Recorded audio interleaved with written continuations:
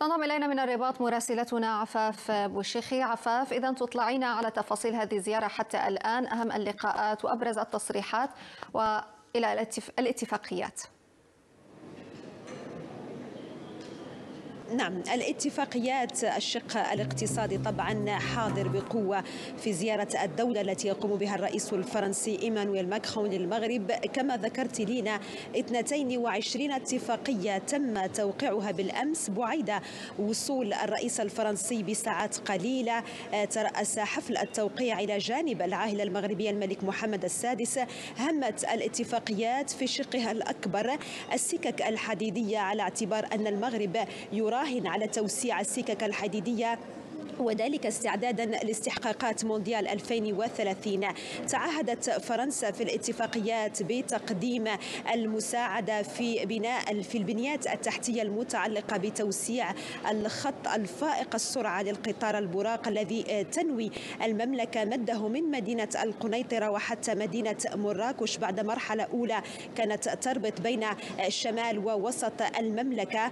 أيضا هناك تعهدات بتقديم معدات لش شركة السكك الحديدية المغربية عبر شركة ألستوم.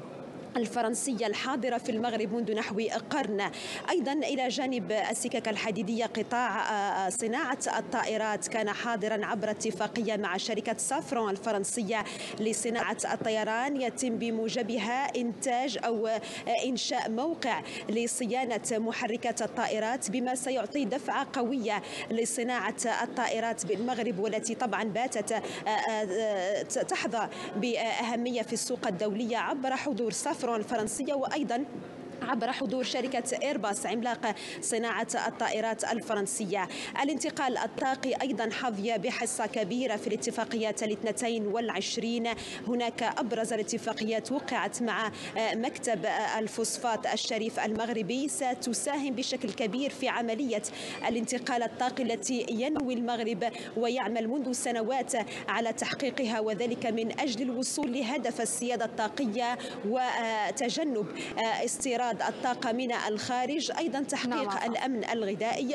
هناك تعهدات بدعم برنامج الماء الاستراتيجي المغربي واضح. وذلك لمواجهة ندرة المياه التي باتت تواجهها المملكة لنا نعم. شكرا لك عفاف بوشيخي. كنت معنا من الرباط.